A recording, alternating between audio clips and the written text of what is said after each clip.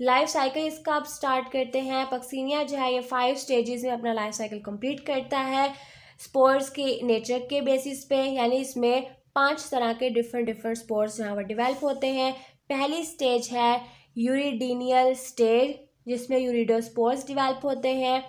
Next है टीलियल stage जिसमें टीलियोटोस्पोर्स develop होते हैं। उसके बाद है बेसीडियल स्टेज जिसके अंदर बेसीडियोस्पोर्स डिवेल्प होते हैं। फोर्थ स्टेज है पिकनियल स्टेज। इसमें पिकनीडियोस्पोर्स डिवेल्प होते हैं। लास्ट स्टेज है फिफ्थ एशियल स्टेज। इसके अंदर एसिडियोस्पोर्स डिवेल्प होते हैं।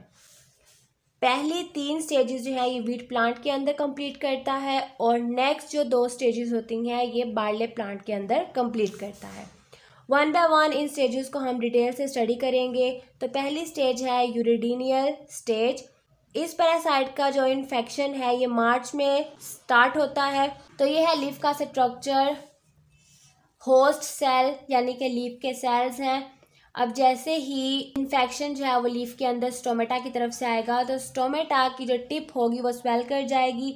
स्वेल करने के बाद एपिडर्मिस जो है, वो रप्चर हो जाएगी और ये स्पोर्स बन के जो है, वो लीफ से बाहर निकल जाएँगे। यानी अब ये रेडियो स्पोर्स जो है, वो बन गए हैं और ये अब लीफ से बाहर निकल जाएँगे।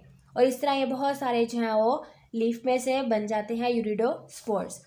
फर्दर जाने से पहले मैं आपको डायग्राम बता दूँ बेसिडियल स्टेज की।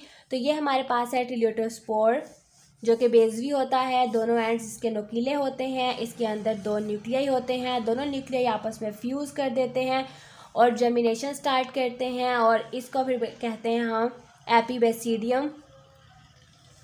अब ये जो एपीबेसीडियम है, इसके अंदर फर्दर जो है वो डिवीज़न होती है और स्टेडिक मेटा बनता है और चार चार जो सेल्स हैं वो स्टेडिक मेटा के ज़रिए बाहर जो है वो रिलीज़ हो जाते हैं। और इस तरह बेसिडियो स्पोर्स बन के सेपरेट हो जाते हैं तो बेसिडियो स्टेज के अंदर बनते हैं बेसिडियो स्पोर्स तो ये आपको स्ट्रक्चर नज़र आ रहा होगा। ये है बार्ले लीफ का स्ट्रक्चर ये जो फ्लास शेप स्ट्रक्चर है, इसको हम बोलते हैं पिकनीडिया या फिर स्पर्मेटेंजिया स्पर्मेटेंजिया में क्या बन रहे हैं पिकनिडियोस्पोर्स और ये जो ब्रांचेस नज़र आ रही हैं, इनको बोलते हैं रिसेप्टिव हाइफी और इसकी हाइफी जो है, पूरी बार्ले लीफ के मेजोफिल सेल्स तक फैली हुई है।